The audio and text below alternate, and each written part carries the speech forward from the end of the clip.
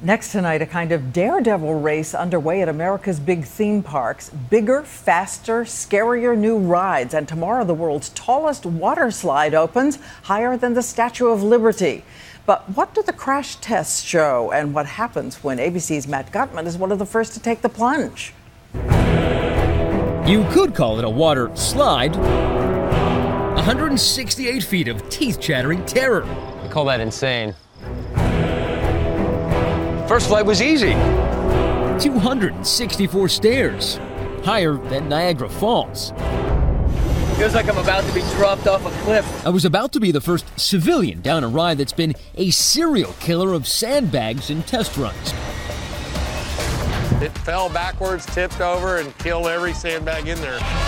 Its name, Verrückt, German for insane. Oh These are uncharted ahem, waters. Verrückt is already a year late and way over budget, delayed by serious safety concerns.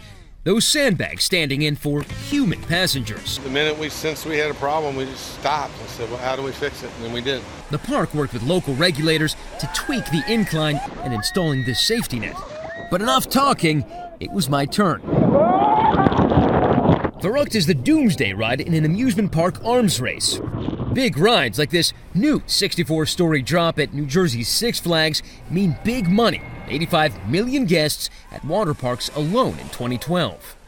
So many wondering if the fear business is getting dangerous. The ride's designer says no. It's being built really like you'd build a spaceship. This one's been tested, everything from impact to speed. A three second freefall up to 50 miles an hour, a face full of water, and I am pleasantly terrified.